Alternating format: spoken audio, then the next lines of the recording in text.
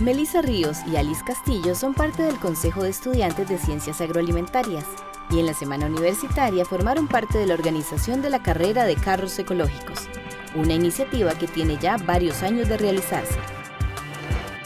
Lo que pretendemos es que eh, ellos, eh, usando materiales reciclados, hagan un carrito que sea funcional, que pueda rodar y pueda bajar por la cuesta que tenemos acá y bueno, nos dé un espectáculo, ¿verdad?, para los demás compañeros.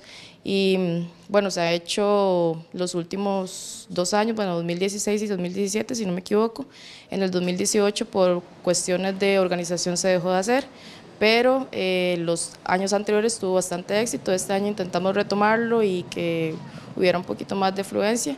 Eh, aparte de eso, también tenemos campañas de reciclaje, entonces como que hemos querido implementar esa parte de la parte social y socioambiental un poco también a la carrera para concientizar, entonces también es parte como de unión, de que se conozca la carrera, que se conozca la facultad y que los estudiantes participen y hagan grupos, ¿verdad? Y también se divierten en Semana 1.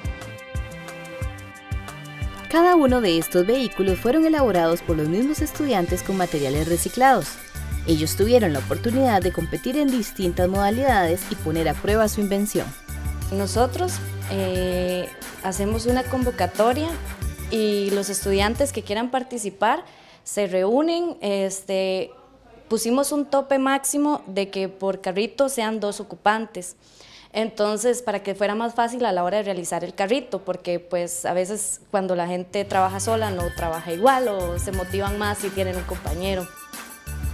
De acuerdo con las estudiantes, esta iniciativa forma parte de un proyecto más grande desarrollado en la facultad, y pretende generar conciencia en los estudiantes sobre la importancia de cuidar y preservar a la madre tierra.